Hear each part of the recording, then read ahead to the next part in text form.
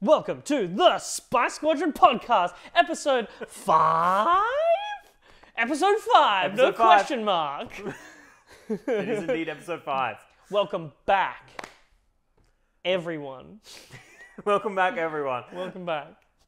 Um, pretty interesting week we've had Mm. since the the big command stream. There was no live stream this week because there's a big live stream next week. We've talked about it a bit. We're learning booster exciting. pack ratios. I, for one, am very very keen to see what I'm uh, my my grubby little mitts. How many how many rares and legendaries I'm gonna get.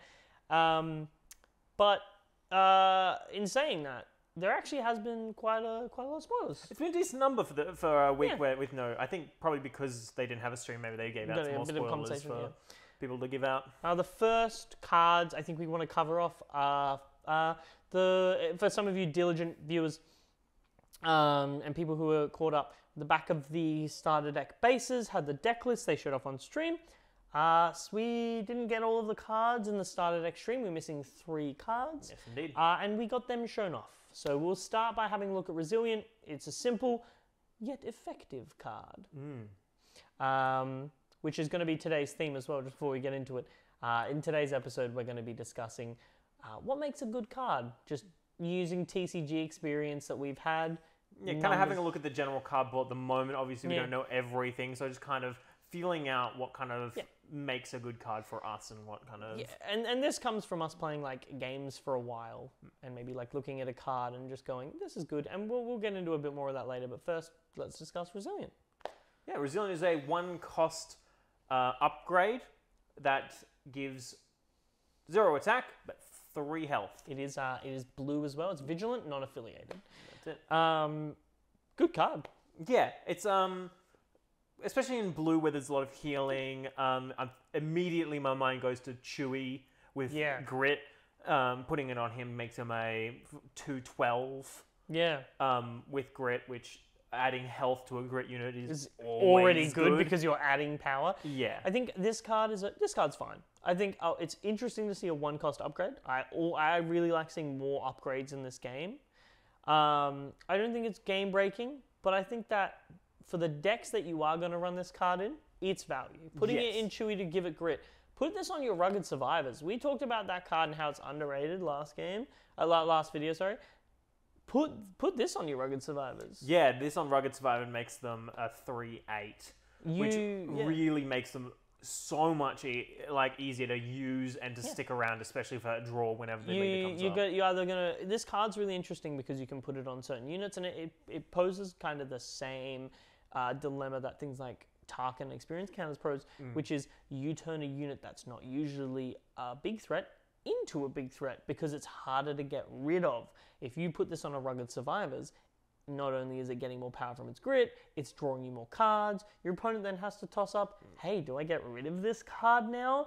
It's difficult because it's a 3 8. There's not a lot of things that can take that down. And in this in this situation, um, cards like Vanquish and Waylay really come into their own element. Where before we didn't have a lot of Mm. things that kind of boosted stuff. Now, as more upgrades come out, you kind of see that value of Vanquish and Waylay, where it says, "I don't care what your stats are. I'm just getting rid of you." Waylay, especially, is a good one because um, you can just bounce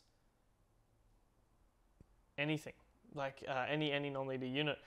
You could have five things on that unit, and it's gone. Yeah, and all those upgrades go to the discard pile. They're out of here. Mm, that's true. Yeah, they just get they just get gone. So Um, it's really like so each upgrade that kind of comes out in that kind of style of play, it really does Yeah. show more the usefulness of those cards as well, which is really Yeah. cool. it's it's it's a, it adds a cool dynamic, which is I um which is good. I'm glad that that's what upgrades are doing. I'm, I think it would be a bit weird if they did like a weird stick around kind of thing. I think it's a cool dynamic to. I've always liked when you have a unit and you're able to put your opponent in a weird position by making that unit better. Yeah. Speaking of units, we have recruit. Yes. Um, this is a, an event. It's a command event. Oh, another one. Shocker. um, it costs one. It's very simple. Uh, look at the top five cards of your deck. Reveal a unit. Put it into hand. Put the rest at the bottom of your deck in a random order.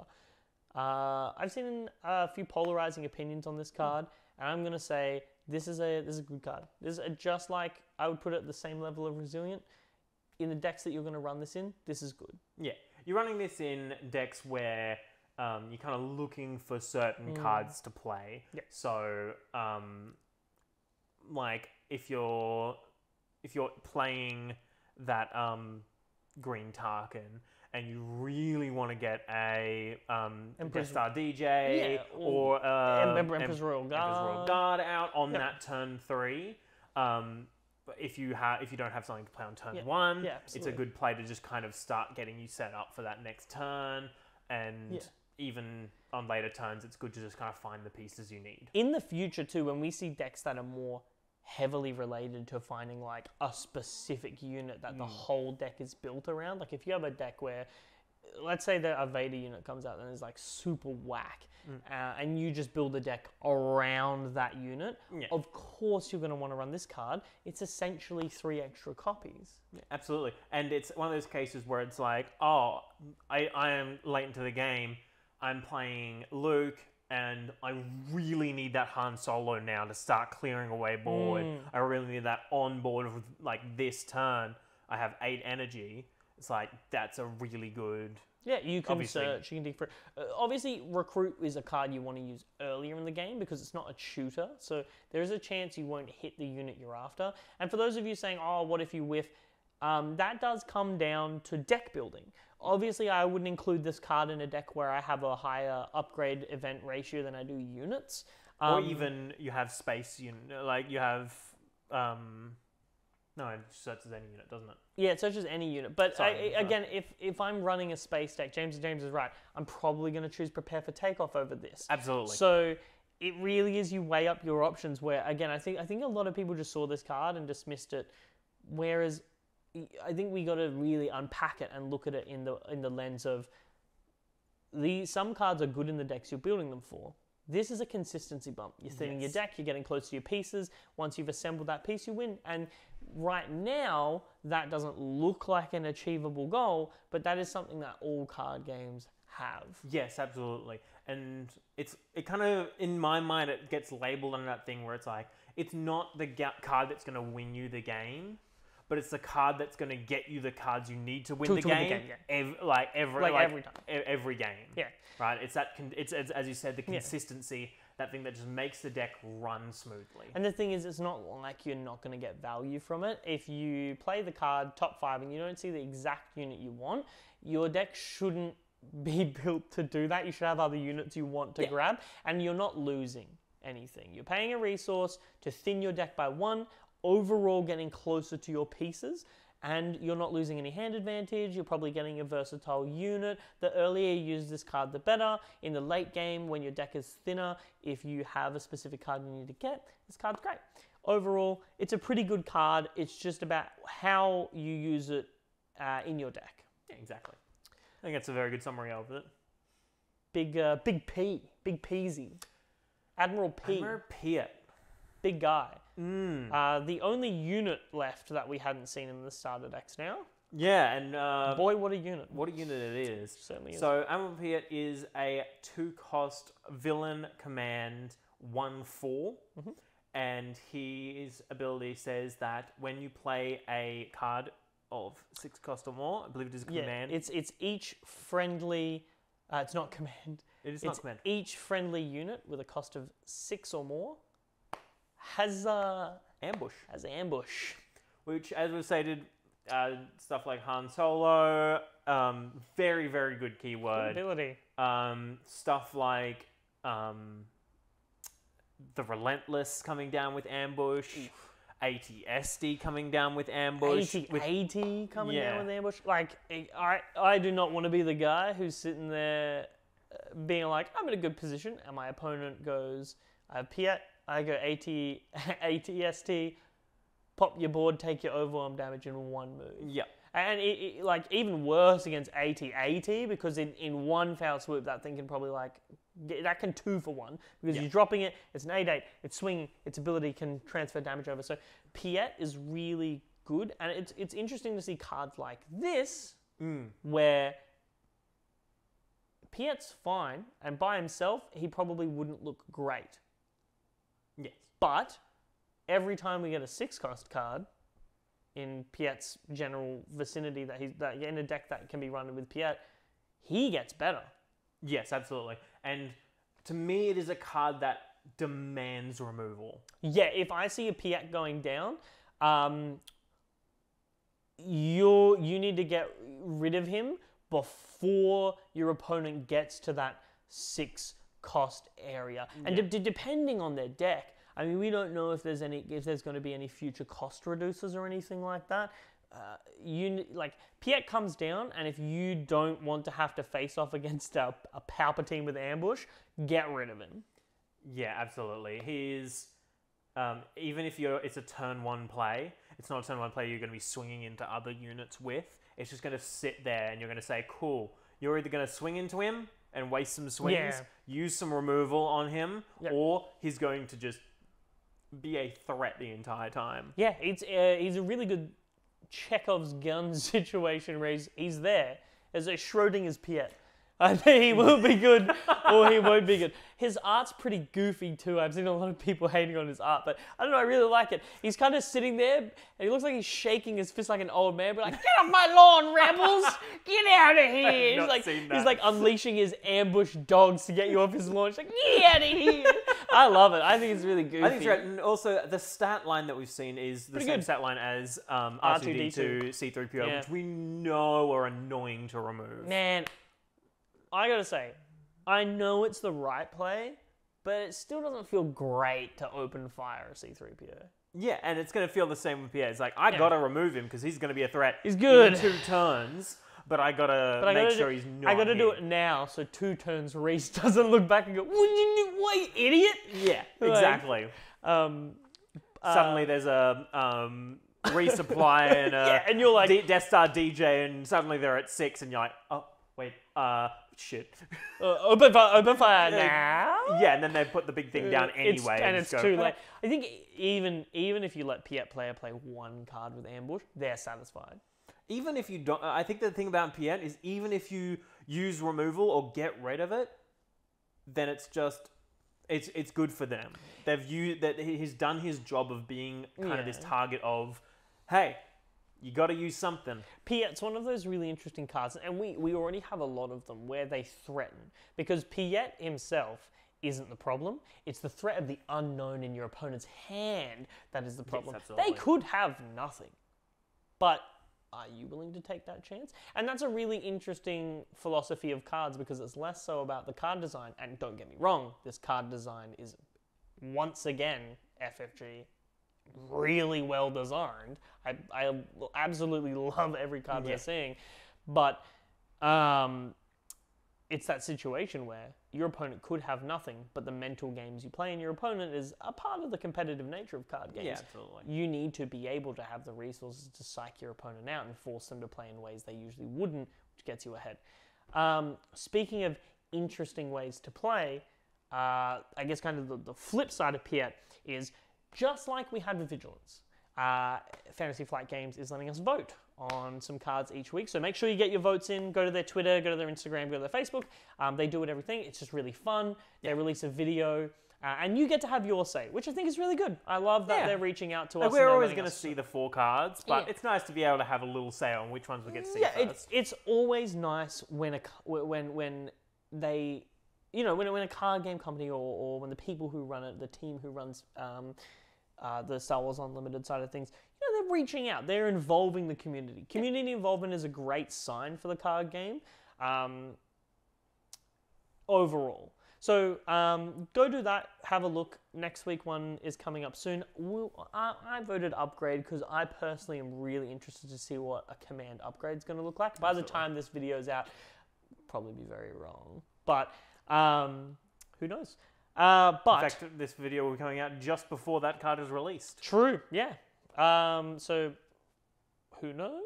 Let, let us know in the comments if we were right or wrong. You can make fun of me. Um, But this week we got a base and another 25 health base, which is so interesting. and I gotta say, we had our theories about this one. Mm. uh, and we we were very surprised No, we were in a we, good way. We were definitely pretty sure that it would just be giving experience, Experience counters. That's yeah. what that was. I our- think many people. yeah, I think I saw a few people kind of Quite a bit, quite a bit. theorizing that way. But no, they've done a. They've surprised us, Yeah. and they've said no. Piet is now a whole base. Yeah. So uh, the reason we're, we're following Piet up with this one is the base itself. So it's the energy conversion complex on Eadu, which is where they tested out the uh, prototype for the Death Star's laser energy uh, cannon. Um, it is a 25 health base, and its epic action is you may play a unit from your hand with a cost of six or less, paying its cost. It was clarified on the Twitter uh, by FFG Star Wars Unlimited uh, social media person that it is paying the cost. Um, which I know some people can get confused with because there are some certain cards that Yeah, specify, some say don't. that, some don't. Um, but you pay the cost, so it's a unit that's six or less, so the inverse of Piet, uh, and it gains ambush. yep. So that's really cool. Any card six or less, Yep. ambush, and that can be really cool to see. So cool. and I think it's something that if you're in a bind, it's something that could be played turn two. I think honestly, um, you get your leader out, play Rugged Survivors, give an ambush, Yeah. get your draw immediately, swing into a unit, get the grit up on Rugged Survivors. It's actually a really good base in that instance because that card nets you immediate value of drawing a card, getting a higher body with grit, potentially clearing a unit. I think Solid. also a turn two play of um, Death Star DJ Yeah, ambush in, swing immediately putting him into get a resource. into resource. It could be could see people Yeah, using it that early, powerful, even yeah. though you can wait till there's that six cost. Yeah, Something that just gets you that immediate value yeah. cannot be understated as something that anything that we get that's a five cost unit could be incredibly powerful depending on what they are. Overall, this is a really interesting base. Again, it opens up that line of conversation. Is the aggressive ambush unit worth the five health? Yes, absolutely. And that is a question that you're going to be asking yourself not just now, but every single time you build, you, every single time you're playing a, a and you want, I want a green base. Do Well, I run let's, this? Let's see. Or do I do run I- like, do I have something that has that that, Yeah. that can be really benefit from this ambush? No. Okay, maybe I'll go the 30 health. Yes. Well, now there's a toss up. And in the future, we could see cards that synergize really, really well with ambush. For instance, we could get cards with, uh, for instance, if you have a card that your opponent has that's a pesky card you want to remove, but it's got a shield on it, play a saboteur that has ambush. Yeah, Swings in, removes the shield, kills it. you could definitely be play, playing uh, gr- um, Rogue operative. Yeah, you could play Yeah, your rogue, rogue, opera- rogue operative and be and and swing into something full damage, for- removing the yeah, shield. Removing the shield. Definitely a strong play. Yeah, I think it's it opens up some really interesting lines of play, just like the shield discussion does. That um, are really worth looking at. I think it's it's it's it's really, it's a really cool base, and just like Scarif, anything that creates conversation and anything that makes you go, should I run this? Is an interesting and well designed card. Yeah, absolutely. It's not overpowered, but it, it, it definitely has its uses. Um, speaking of having its uses, uh, we had another card come out that I'm really interested in. It's been polarizing for a few people based on its aspect, actually. Mm. Um, this is a two cost. This is Admiral Yularen, It's your boy. Uh, good old Clone Wars veteran. Yeah. uh, fought with Anakin Skywalker. Uh, he turned to the Imperial Security Bureau, which is pretty much just like the Imperial CIA, secret police, military police, if you will. Um, so he's a two cost two three command, but not a villain. Still an Imperial, still an official. He has both of those tags, but he's not a villain, which is interesting. Uh, and his effect is very, very fun. His effect is he, um, whenever you play a command card, you gain one life. two base, including him. base. When you play when, uh, whenever you play a command unit, sorry, uh, you get to to, Two add, to to heal one to your base. It's really really cool. Yeah. So even just playing him himself heals your base one, gives you a two three body on board. Yep. In a deck that runs a lot of Sentinels, I can see this being a really good card because he's less. He, he'd be less of a threat to be attacked and more of a card that's like you play him, you're playing your Sentinels, you're building up that life. He's still an Imperial, so he benefits from things like Tarkin, uh, both the leader and the searcher. General Veers. General Veers, he, he gets a plus one, plus one. Um, and I think a lot of people are very curious because they're like, well, he's an Imperial, shouldn't he be a villain? Uh, really depends on the character. I mean, things like Lando, I would consider, you know, he fights for the rebellion in uh, the during the Battle of Endor to defeat the second Death Star. But the movie before that, he sells out Han Solo and Yeah. gets him put in carbonite. So characters, you know, just like Star Wars, everything's kind of three dimensional. There's a lot going Yeah. on. Admiral Yularen is an Imperial, but he values peace above all. Um, and he, he just believes that the Empire's rigid structure is the best way to give that peace. He's not necessarily a bad guy. I mean, he fought in the Clone Wars. I, th- I think another thing is just that idea of we've seen him on the good side and we've Seen him on the bad side. Yeah. Neutral. Um, it can be that simple. Yeah. So it's really cool. I, I I would say it actually is cooler that this happens because then we know that we're going to get cards and characters that are splashable into other decks. Um, like I can run Yularen and Leia. He's not a rebel, but if I'm running a, a deck that's heavy on command units, that's a good piece to have. Especially when Leia is trying to play a lot of command units Yeah. to fill up that board, it, he is something that can, Yeah. if left alone, kind of similar uh, similar to Piet in that kind of thing of like he's dangerous to be left alone, not necessarily as a threat, but as just a more, you just get more value out of Hmm. him the longer he stays on board. you know, I, I, I think he's I think he's an interesting, cool card, and I really can't wait to build some decks around him when we get some more command units. I think I'm re- and I'm a big fan of Admiral Wullf Yularen. and I think whenever I I hear his voice at the beginning of like a Clone Wars episode when I was a kid, and when I watch it now, it's just always it's always very fun. Yeah, no, absolutely. Um, speaking of good Star Wars, um, we got a, a cool reveal today. Yeah. Our community reveal as well, um, which is which is really nice. Um, so, uh, it's a Death Trooper. Absolutely. Uh, this is a three cost uh, vigilance villain 3 3. With on play, deal 2 damage to an allied unit and deal 2 damage to an enemy unit. And what does Krennic say, everybody? Damaged units you control get plus one plus one. It is a very interesting card. It synergizes very well with Krennic, which we expected. Which Yeah, yeah, of course, for. of course. I mean, they were introduced to protect Krennic. Works works with him. They're like, it just it, it makes sense. It fits. Yeah, it makes sense. And it's good that it fits because and we know FFG has been caring about that kind of thematics. Yeah. I mean, I, I hopefully, fingers crossed, we get some Shore Troopers as well from Scarif. Mm. That'd be sweet. I mean, it'd be cool to be able to build your two Rogue One decks, have like a Cassian Andor. Yeah, and I think with the recruit, they had all th- the Death Trooper, the Storm Trooper, and and the Shore yeah. Trooper on it. So I Uh, think we might the Death Trooper to- artwork has Shore Troopers in the background too. Mm. Also, the artwork, just a quick shout out to that, looks awesome. Uh, whoa. um, again, we've, we've talked about it already, and I don't want people to underrate this card. Rugged Survivors.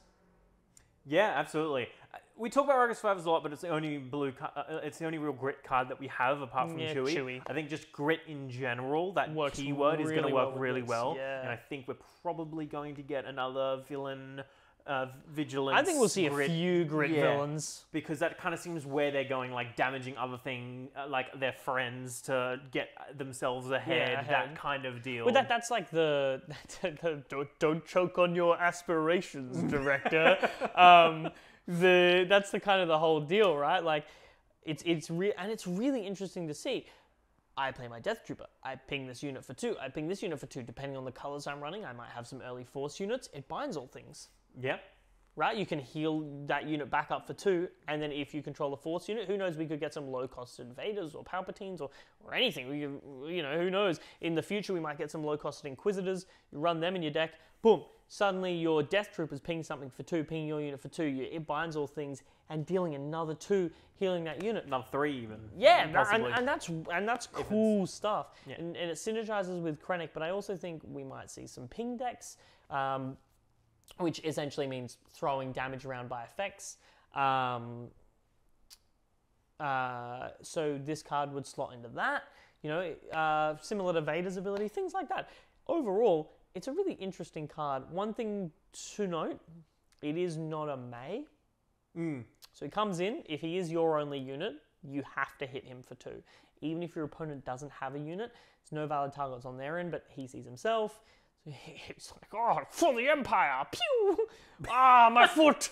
kind of like, It is cool though that he can hit himself. So in a vacuum where you don't have cards, you need to get rid of this. It's got two health left. You can chuck him down, Yeah. deal two damage to himself. If you're running Krennic, he then becomes a like a four 1. one, 4 1. It's pretty and good. you've killed the unit that Yeah. you need to kill. I think- that is really can be really useful. Yeah, it's pretty interesting. I, for one, really like it. Uh, Mm. I love the art of this card. I think when I first saw this card, I was a little bit hesitant because I was like expecting a payoff. But then I realized, and we, we talked about this just before, it isn't a payoff. It's an enabler to your payoffs. It's a mm. pa- it, it, it enables your payoff of grit. It enables your payoff of Krennic. It enables your payoff of if we see cards in the set in the future that thrive on when you deal damage, do this. Death Trooper's a payoff. Why would you not run him if he does that? I think I think one of the things that I was talking about before is if you've watched our previous gameplay videos, you know I you know I really like that start of Motti into Snowtrooper Lieutenant Yep. to swing with Motti with plus two. He trades and then ready the Snowtrooper Mm. Lieutenant. Now we can be doing that with this Death Star, with this um, Death Trooper, Yeah. where you play Motti turn one it, against any deck but Vader. Pretty much, there's no way for them to remove it with just the two energy. Then you next turn you um, play that Death Trooper, deal two damage to Motti, two damage to an opponent, and then ready that Death Trooper up. In an aggressive playstyle, it's really good because if they don't have a Sentinel on board and they just have a two, let's say they got a Viper droid, right? 3 2, um, and you go Motti at base. Cool, okay, sweet. And they swing their Viper droid at your base. You can just Death Trooper pop your money, kill their thing, and then you've dealt four damage to their base. It's a pretty aggressive start. Um, or you can just drop the Death Trooper and still get that three damage to base. Again, pretty pretty solid, pretty aggressive, Yeah. aggressive start going on. Um, overall, this card is a really good play extender and play enabler. Yeah, absolutely, and especially if we get, start to get cards that say when damaged, do this. When when like dealt damage, do this. I'd really that. like to see be- a card in villain that if it's dealt damage, you get to draw a card maybe like once per turn or something similar or Hmm. something interesting like that. Just a just a cool effect that's like if this card gets damaged by your effect value. Yeah, and I think that that also helps to alleviate some of that pressure that kind of Vader puts on and being able to just slowly ping units down. If we get effects Yeah. like that, it can kind of disincentivize that kind of ping Yeah. damage that kind of goes around and is really oppressive at the moment. Those, Not oppressive, but like uh, it's, Oh, it's it- very strong. At the Vader. Vader in this current card pool is very strong. So it'd be interesting to see how he evolves and where he goes with his Hmm. decks. For for all we know, we could see a blue blue red ping deck. Um, but we we that, that's all the reveals for this week. Uh, that we have as of time of recording. I'm sure there'll probably be another card right after we finish this video. Just get in like three hours. Yeah, Yeah, it'll be like, oh, by the way, there's also this card.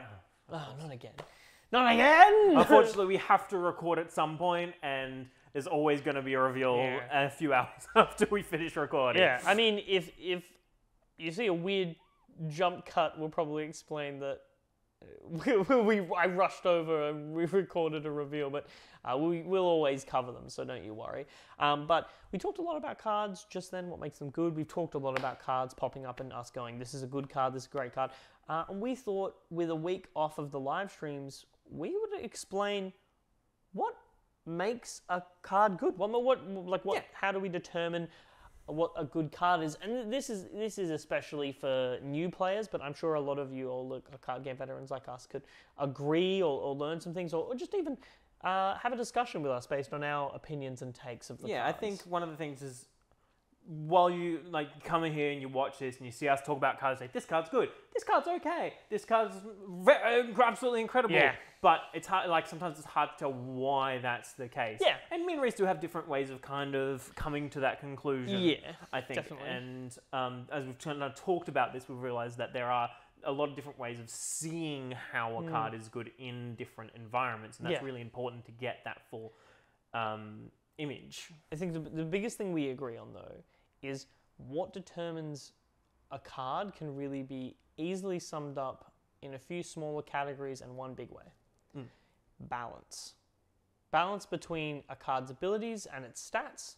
See, I, I personally I value abilities quite a lot and James values stats. And I think it's a good thing that we both have that perspective, we can share it. And at the end of the day, we come together and we form that opinion of this card is good because it's balanced. And I don't think there's been a time yet where we have particularly disagreed on a card being shown.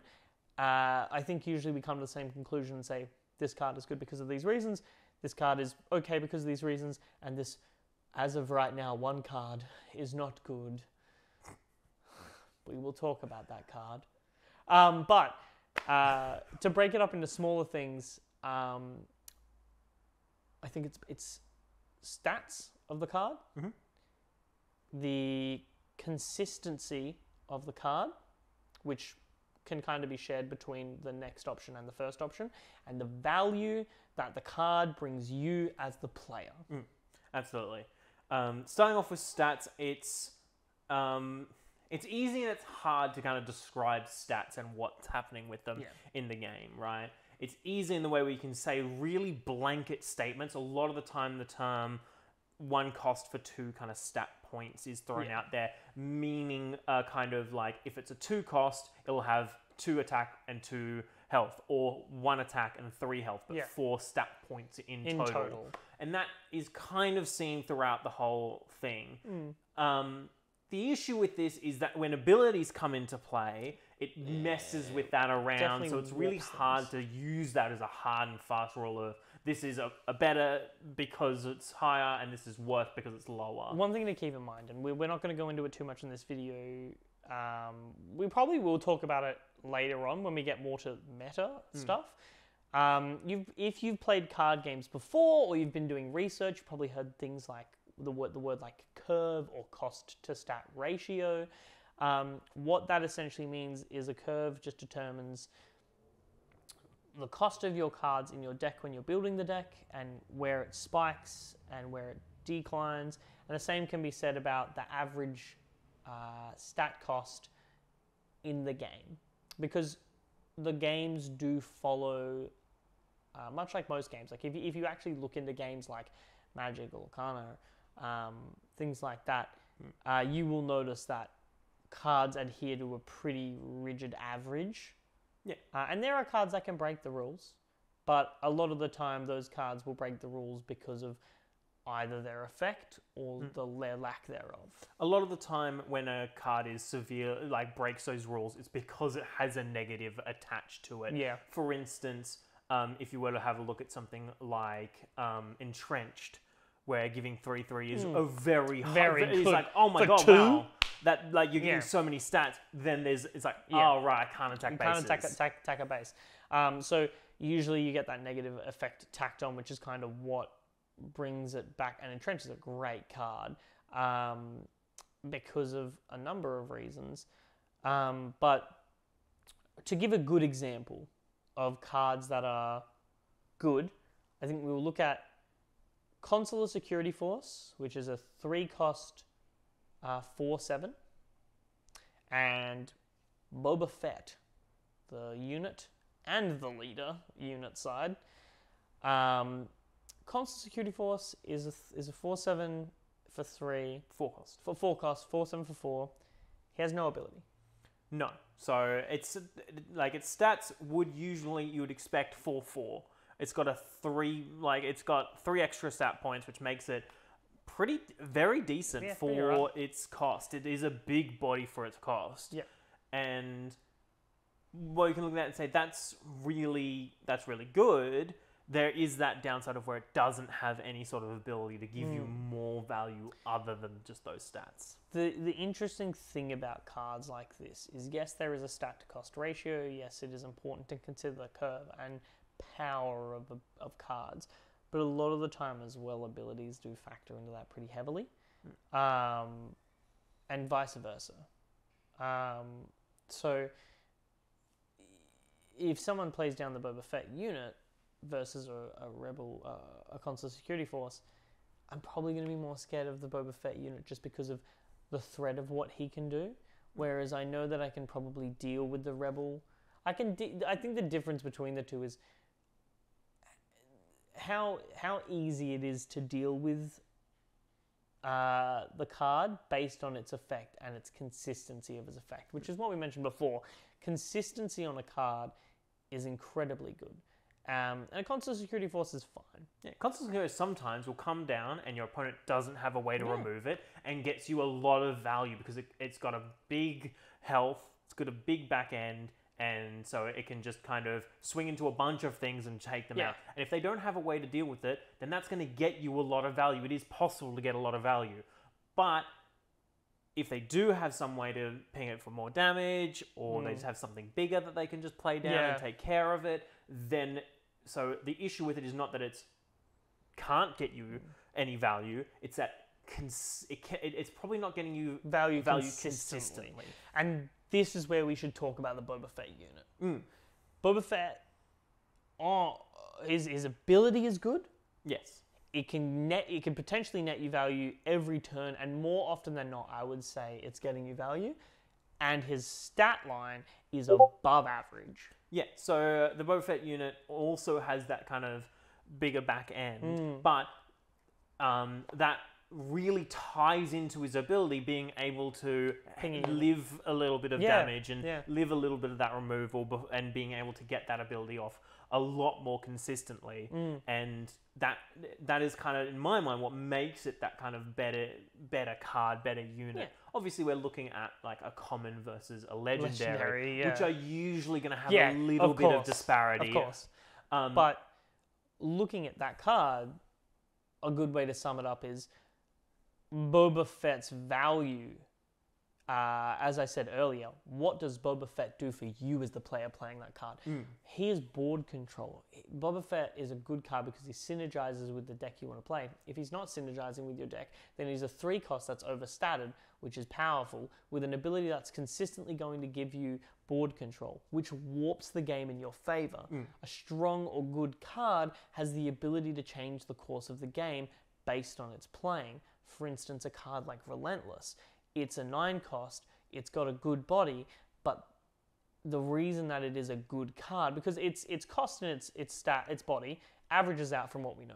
It's an eight eight, but it's a space unit, so it's naturally going to be a little bit weaker than uh, a ground unit. So it actually fits the cost. But it's and also generally as you get higher in It- the in stat kind of flattens the out. stat kind of the stats do drop off a little bit and that's normal yeah, you don't want to be playing a nine cost 10-10 in the in space because even on the ground they're not going to release cards like that because those bigger bodies are just too much to deal with there's that time. that's a lot. And that's and that that's where it comes in this delicacy of balance right? You got to make sure that you're bringing out a card that's balanced a card that's designed well. And honestly right now i have full faith in ffg oh, i yeah. say that right now. We said that last episode. I say it again right here. From everything i'm seeing from every time we get a new card faith. That's what i've got in this game. The design process is really good. The team's nailing it. But back to the relentless.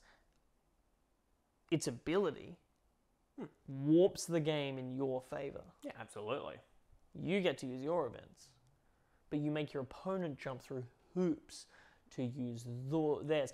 Expending resources, expending your opponent's resources is huge. Yeah, and I think it's um, looking at the relentless versus something like Home One, where they're kind of those similar kind of bomb late game ships. Yeah. But they do Um, different things. do very different things, and it's looking at Home One when you think of I play Home One, okay, I play Vanquish and kill it. Hmm. It's like, wow, that's that's rough. But Relentless kind of gets around that, which Yeah. is why Can't why, why Vanquish on it which is one of the reasons why it's like you look at it and you go, oh, that's really good because once it's down, it is really hard to get rid of it. And I, I and home one is also a really good card. Yeah, home one, let's go. Um, but um,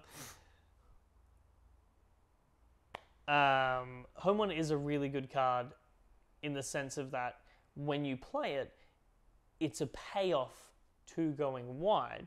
So again, another another card, it warps the game in your favor because it's paying off what your deck Mm. is meant to do.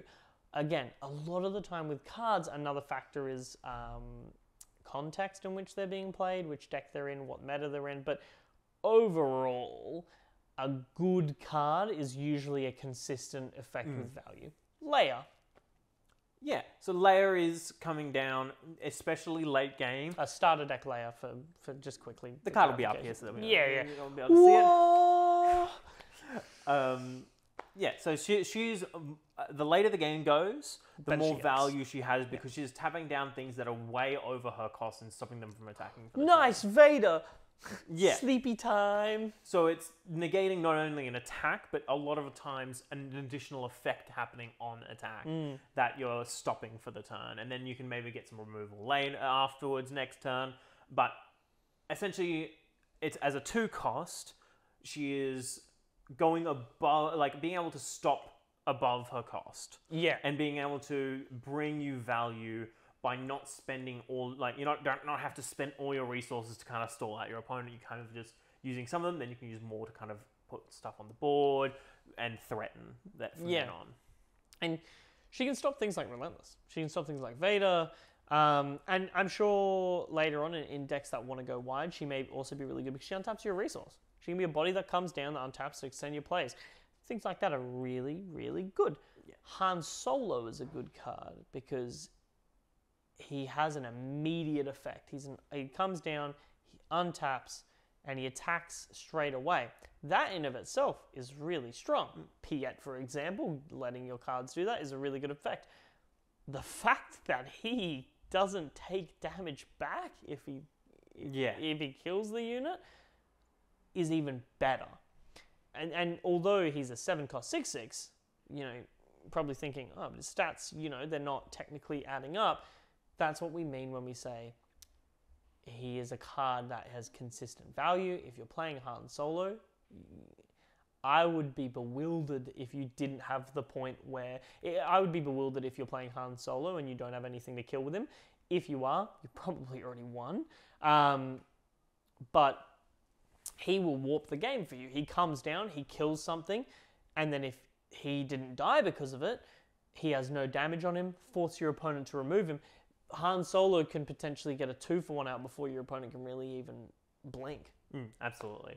Um, now we talk about stats a lot. Yeah. We're going to move on to kind of abilities and kind of event cards and stuff Yeah. like that, and how we kind of determine what a good ability is, Hmm. um, and what something that maybe can be not not not as impactful. Um, let's have a look at a card like event wise Asteroid Sanctuary. Yeah. We know that tapping a unit down is powerful. We know from Leia that two, being able to do it as a two cost is strong. And we know that shields are good. So having both of them on a card on the same card, it, you- you're immediately kind of going on um, that thing we were talking about where you're warping the game state, Yeah. right? In your it favour. changes a lot of the board state. It makes whereas if you hadn't have played it, you've been played a unit or something, they could have swung a unit into one of your units, killing Yeah. it, and with overwhelm dealing damage to your Yeah. base. But- now suddenly, it uh, their unit can't attack because it's tapped, and your unit has a shield on it. Yeah. I've got my cell block guard and you've got your Vader. I know you're going to attack me. I don't want that to happen right now. I've got to buy myself some time. Boom. Asteroid Sanctuary. Vader's tapped. Cell block guard has a shield on him. That means hmm. if you want to swing at him next turn, you don't get the luxury of Vader's ping somewhere else. You're forced to use it on him to get the shield off. You don't get the Vader swing this turn, which buys me time to get other cards to deal with that Vader. Asteroid Sanctuary is solid, especially at its cost again, if it was a higher cost, like at at a three cost, it'd probably still be okay. Uh, I'd say at a three cost, it'd probably still be good. Uh, anything higher than that, like four or five, it's, it's one of those things where it's a bit tougher to determine because, again, the intrinsic value of a card for its cost is also what makes it good. So paying two for a card that can warp the game format in your favor is great. Paying three for it's great, but paying four is expending quite a lot of resources, especially in a game like this where Yeah. you really want to be getting two cards really per turn a lot of the time. Especially when you're getting up to the higher cost, you want to be able, Yeah. like when you're playing things that are essentially a control environment where you're trying to control your opponent's board state. You want to be doing it to multiple units at that point. yeah, Right earlier with the lower cost, it's fine to just be like that one unit, and is, is we're going to deal with that. But once you get to higher, you kind of expect to be able to deal with multiple units. I wouldn't be surprised if we got a five cost tap two or three units kind of kind of deal later on, where with those higher costs, then you could deal with a little bit more kind of thing. Speaking of five cost good cards, that absolutely screw the game. Um, is exactly what I'm talking about: being able to deal with Yeah. multiple units.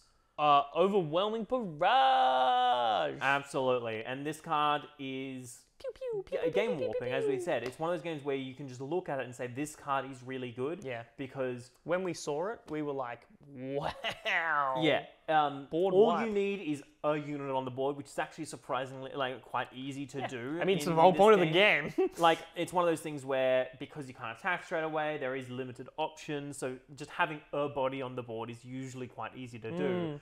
And this just it even on small bodies, It's- this it game feels good. Feels good. feels th- this card feels That's good. good. I, th- I think the card's really interesting because it plays out at a really interesting point in the game where it is appropriately costed. Oh yeah. Um, and it's interesting because it's appropriately costed, and at the time you would play it for its cost, it's really good. Yeah, it's a card that feels good to get played. Tapping all of your mana on turn four, Yeah. and that's and, and when that when that feels good, you know the card is, um, the- very really quite good Yeah. because it it shows you that you're getting quite a lot of value from it. You Absolutely. can easily kill, especially if they have a lot of smaller Man, units you, on the thing. I've, or three I've seen this. I've seen this card like five for one. Yeah, it's especially late game, especially if you're playing against a deck that's really low to the ground. A lot of Yeah. small units, a lot, a lot of um, stormtroopers. Yeah. Well, oh, not to the troopers. a lot of Um, stormtroopers and Viper probe droids. no, and my it's just- boys, my boys. um, one thing cool about the card too is is uh, again, I personally don't think this card is overpowered because there is obviously still you know they have to have a unit. In some instances, they might not be able to clear your whole board and things like that. But the card is great. It is a really good card. It also gives a unit plus two plus two for turn. That could close out a game. Yeah, that and that that's easily um, like just an extra bonus on top of an already great card. Um, it's one more point of oh, and then I'll swing this into this and remove that as well. And just that final like point. Get of, him, get him good. Just say, Yeah. Um, and it's just, isn't it just pointedly uh, lovely that it's on a, an imperial card? Yeah, um, but that's that's one thing that like we kind of that's that's a few things that make up good cards. Another card to look at. Um, that's a good one to discuss before we move on to cards that maybe don't benefit you in terms of design. We mentioned it earlier. Is entrench, but Mm. entrenched is good for a different reason. Sometimes in especially in card games, if you're newer, trust me, you're going to see this probably uh, quite a bit. Not a whole bunch, but it is something that you'll see. Um, design versus uh, so intention versus execution. Mm.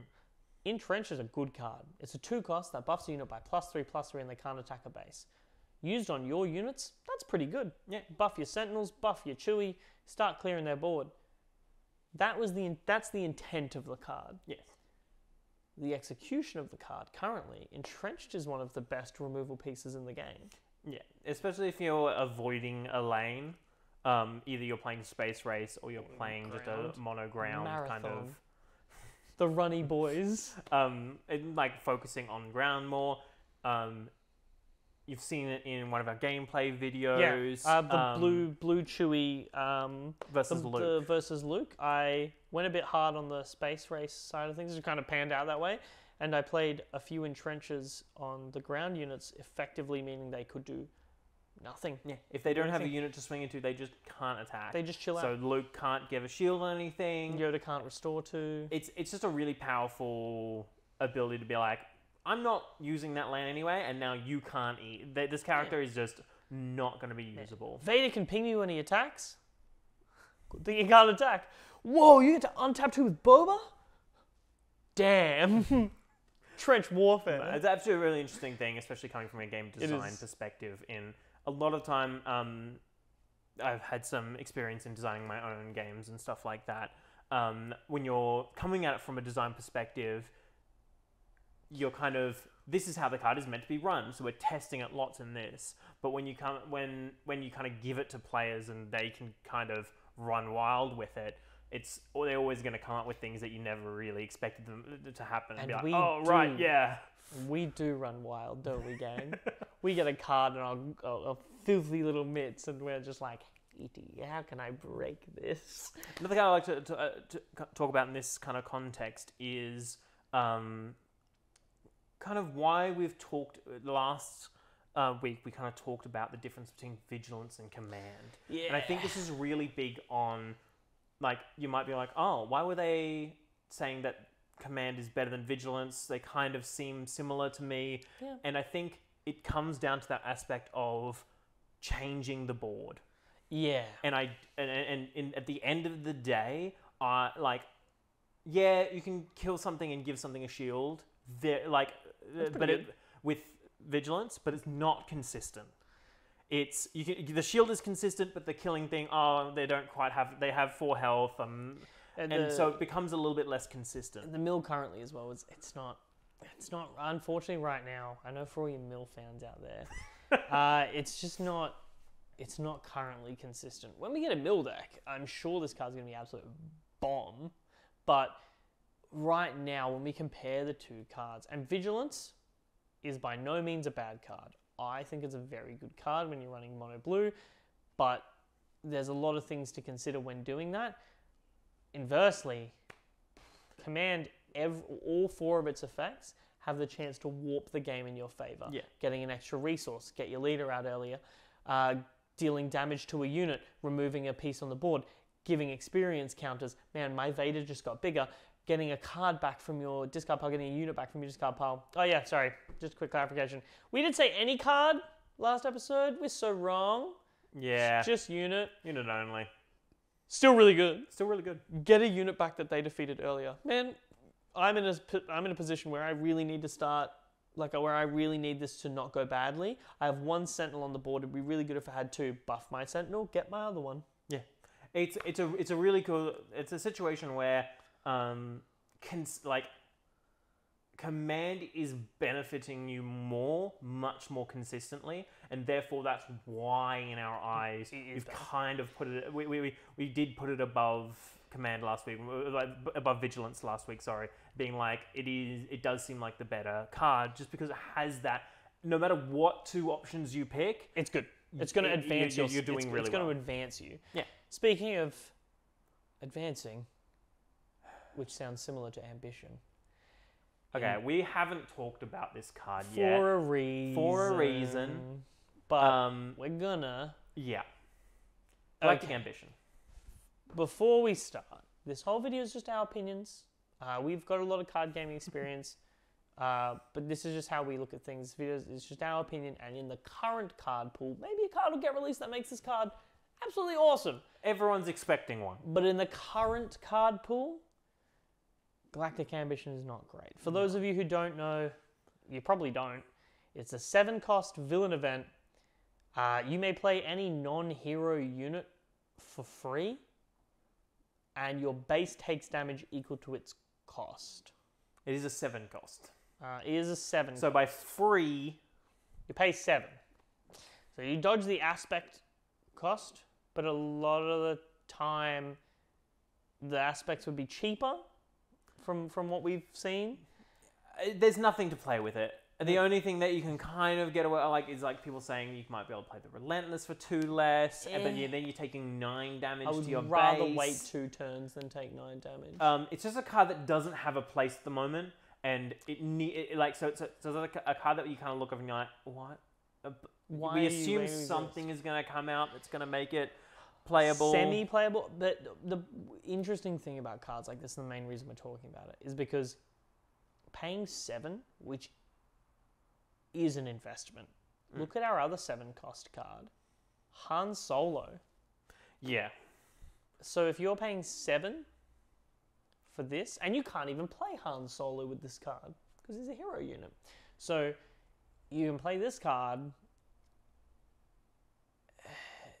and yeah, you- you're paying seven. Okay, so it's a, it's a, it's an investment. Whereas you could get two units out, you're playing paying seven to use this and another card in your hand. So you're losing two cards in hand and potentially furthering your board state by one unit, versus playing two units and furthering your board state by potentially more, and you're taking damage to your base. This card makes you pay a cost twice. And and and currently there is no card worth doing that. No, and it whatever card they and if they do, like you got to assume they it's planned for something in particular. yeah. You got to assume that it and like it's got to be something specifically designed for this card. Something like when you play it, you heal it for its cost. You heal your base for the cost and just Yeah. negate it anyway, and then it becomes like It has to be something it has to be something super powerful. And again, even if something super powerful does come out, I'm sure you guys are asking yourself, well then does it make the galactic ambition good? Well, it's not. If there's no way to make it consistent, then no. mm, because you've got this you've got these six cards in your 50 card deck and if you are unable to pull it off for whatever reason then no you you you just wasted six cards in your deck um, that is to of course say if that's the only if, if it's only galactic ambition and another card that can be played with it i'm sure there'll be other stuff but currently it's design its design hints at something to come. And without the context of what that card is, it's difficult to say whether or not this card is good. And in the current circumstances, it is not a good card. Having said that, though, anything that is free play, Home One, for instance, You're My Only Hope, and and this, generally free play is a very dangerous kind of thing, and you find a lot of the time when bans come out for cards and card games, it's a lot of the time something that's saying play something for free because it it can be game breaking. Getting something free is the best kind of warping something in your way. But again, that, that's where this card comes in. It's not really free, is it? yeah, you're paying the seven. Freedom isn't free. Not for folks like you and me. So I think in the future this card could have a place and pretend and I but I I worry that for this card to be good, the thing you have to play is gonna be have to be so good mm. that it's almost gonna be too powerful already. Just to- Yeah, and another another thing is, is uh, that we just we discussed earlier is cards are good when they synergize with other cards, um, and synergize is the key word there. So if I play a card and it has effects that work with a hmm. plethora of cards, it's good. Like a lot of when it works with a lot of other cards, it's good. If I have Galactic Ambition and it only works with one other card, essentially the prerequisite to making this card good, that's that's tough. Yeah.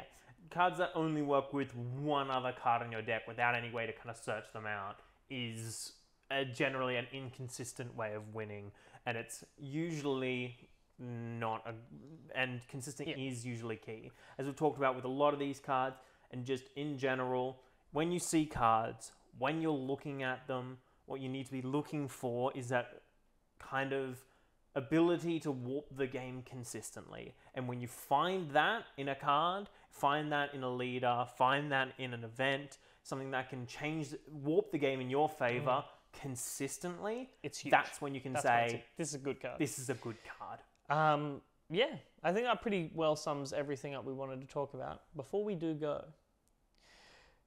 Resilient is a two out of five on the Spiceometer. Recruit. You couldn't just do it while we were talking about it. You have to wait to the end. I forgot. It's a uh, That's recruit's a- because the Spiceometer is uh, terrible and we shouldn't use it. Everyone's allowed to their opinion even if they're wrong. The Recruit is a 2 out of 5. Admiral Piet is a 4 out of 5. The Base is a 3 out of 5. The Death Trooper is a 3 out of 5. And Admiral Yularen, optimistically for me, is a 3.5 out of 5 on the Spiceometer. Um, oh, yeah. That's all, folks. Thank you very much for Thank you. watching. We will Please see you next week subscribe. We'll see you next episode. for the booster pack live stream. Whoa. Also, check out the gameplay. Yeah, no, uh, check that out.